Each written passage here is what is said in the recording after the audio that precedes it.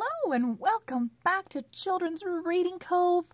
Let's dive into another early reader chapter book. This is one of my favorites. It is called Henry Hecklebeck Never Cheats. This is a whole series of books written by Wanda Coven. If you've never seen this book before, run. Do not walk to your library and get started on them right away.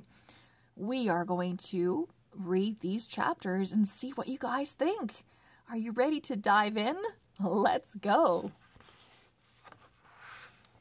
Hmm, I can tell that this book will be all about sports. Henry Hecklebeck Never Cheats by Wanda Coven illustrated by Priscilla Burris.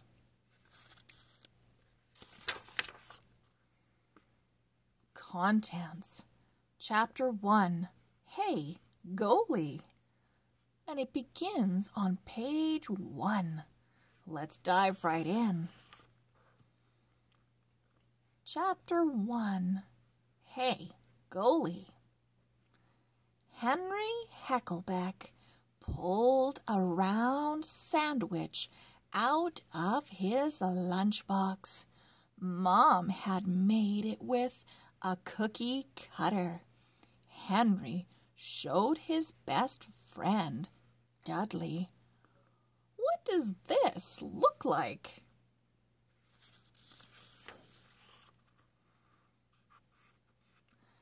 Dudley smiled. It looks like a soccer ball to me. Right, Henry said. And today we have the first soccer practice after school. Then he held up his free hand and Dudley smacked it. Max Maplethorpe heard the boys as she walked by. What are you talking about? she asked. Soccer, Dudley said. Max sat down. Do you play? she asked. Dudley's mouth fell open. Well, of course I play, he said. And for your information, I am a center back. My position tries to stop the other team from. Max held up her hand like a stop sign. I know, I know, she said.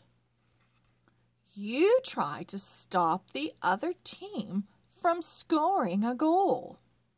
Dudley was surprised. Do you play soccer? Max looked up from under the brim of her baseball cap.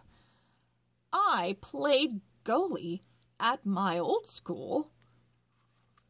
Henry smiled. Hey, goalie, he exclaimed. That's what I play. Max didn't say, that's cool, or anything at all. She just stared at Henry. Henry swallowed hard. Oh, well, um, soccer sign-ups are at practice after school. Maybe you should join us? Max shrugged. Maybe, she said. Then she picked up her tray and walked off. The end of chapter one. Come back to the next video and see what happens at soccer practice after school. We'll read all about it in chapter two. See you very soon, sports fans. Bye-bye.